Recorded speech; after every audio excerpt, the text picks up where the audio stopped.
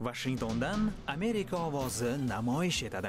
Shu kunning eng dolzarb mavzulari: Markaziy Osiyo, xalqaro hamjamiyat, Amerika xalqi va hayoti, siyosiy, ijtimoiy va madaniy yangiliklar. Bularning hammasi bizning kundalik radio dasturlarimizda va haftalik Amerika manzaralari ko'rsatuvida, shuningdek, internetdagi sahifamizda. Amerika ovozi xolis, tezkor va ishonchli axborot manbai. Amerika manzaralari dasturining bugungi sonida O'zbekistondagi siyosiy mahbuslar Vashingtonda muhokamada. Obama ma'muriyati Ukrainadagi o'zgarishlarni olqishlamoqda. AQSh Janubiy Koreyada katta harbiy kuchga ega. Dunyoning bu qismidagi siyosiy, iqtisodiy va ijtimoiy manzara. Tafsilotlar bilan Vashingtondan Nobahor Imomova.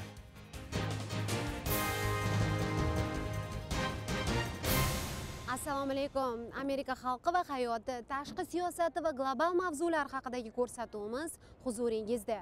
O'zbekistonda inson huquqlari qamoqxonalar va siyosiy mahbuslar taqdiri. Aqsh kongressi qoshidagi helsinki komissiyasida mana shu masalalar muhokamada. Human rights watch xalqaro huquq tashkiloti yaqinda bu borada katta hisobot chiqargan.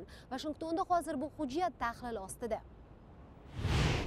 Human Rights Watch tashkilotining 121 sahifali tahlilnomasi eng so'nggi lahzagacha O'zbekistondagi siyosiy mahbuslar deb ataladi.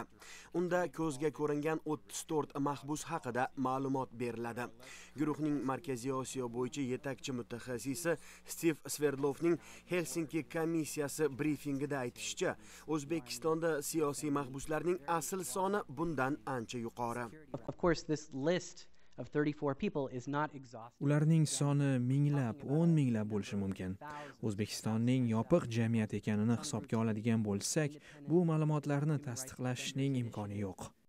Mutaxassisga ko'ra hisobotda keltirilgan 34 odamdan 29 tasi tergov paytida yoki qamoqda qiynoqqa solingan. 18 tasiga advokati bilan uchrashishga ruxsat berilmayapti. 8 tasi bilan ma'lum payt umuman aloqa bo'lmagan.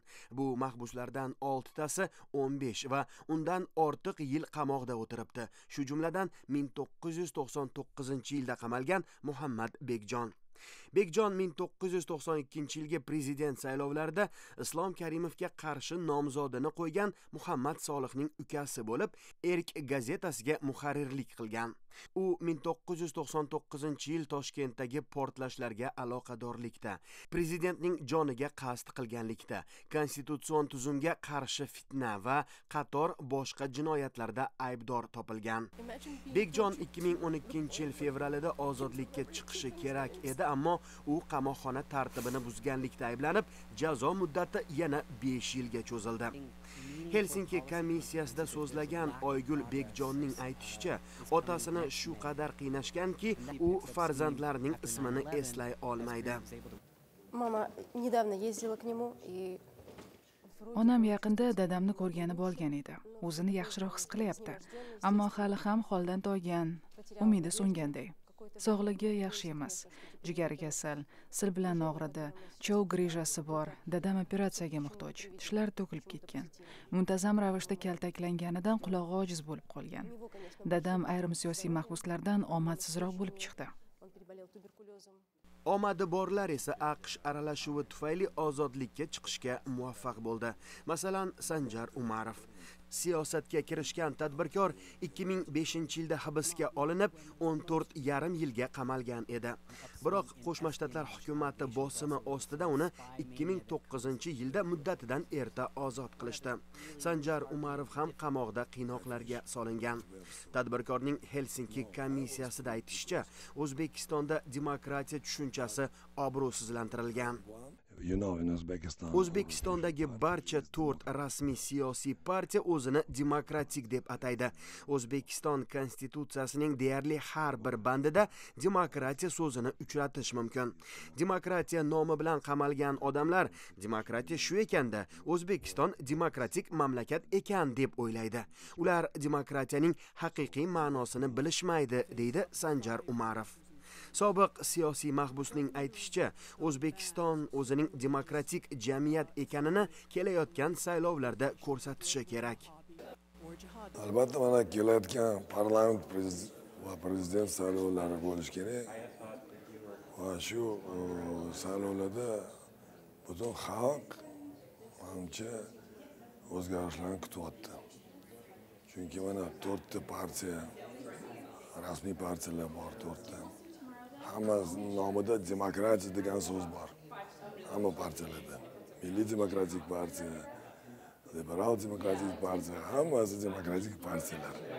Shuning uchun agarda shu agarda nomiga gapirilmagan bo'lsa yozilmagan bo'lsa unda albatta demokratiya chinakam demokratiyaga yo'l ochish kerak. Va yangi yangi e, oliy majlis yangi saylangan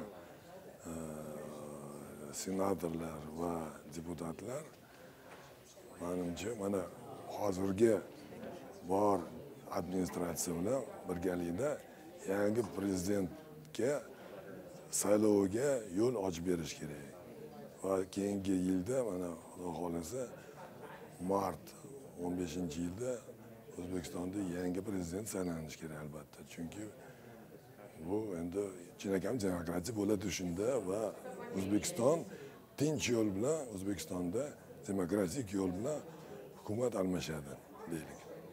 Helsinki komissiyasida so'zga chiqqanlar aqsh hukumatini o'zbekistondan siyosiy mahbuslarni ozod etishni talab qilishda davom etishga chaqirdi.